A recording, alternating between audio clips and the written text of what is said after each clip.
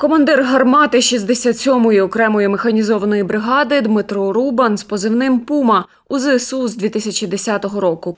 Дружина Дмитра Ірина каже, за таких умов побачитися вдається двічі на рік. Завжди хвилюється, коли чоловік на позиції. Завжди таблетки під руками і кава.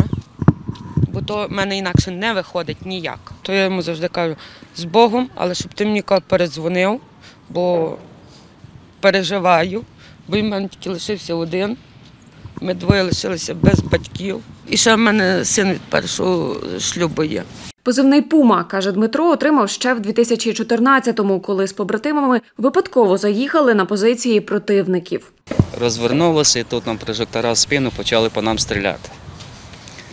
Я ніколи не думав, що я бігаю в бронежилеті в повному мундируванні 30 кілограм так, так скоро. Так мені і сказали, ти бігаєш як пума. Ну, так і прив'язалося. З того часу я пума. Повномасштабне вторгнення російських військ розпочалося для Пуми з оборони Києва. Далі була Чернігівщина. Там вдалося затрофеїти російську систему БМ-21 «Град». Її відремонтували і потім нею ж відбивали окуповану Харківщину. Нам сказали, що нам треба буде відбити Балаклею тільки. Е, ну, вийшло так, що ми поїхали на цьому граді, що пішли в підпорядкування е,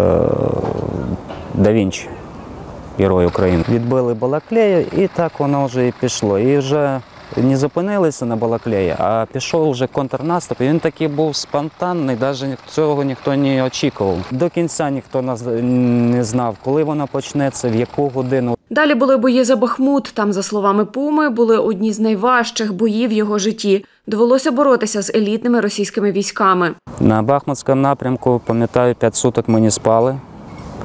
Такі бої були. Ми тільки за день, не за ніч, а за день вистрілили 204 снаряди у нас. Ми, як вам сказати, відступили від тої території, де захопився Вагнер. Ми зайняли позицію до сих пір її там тримаємо. Про спілкування з цивільними Пума каже: Коли ти приїжджаєш, одні і ті ж самі питання. Коли це закінчиться, а ще скоро, а скільки ти заробляєш, а, а чому, а де твої всі гроші? Та де гроші? Гроші там, де вони потрібні, на, амуніції. У нас люди купляють амуніцію за свої гроші.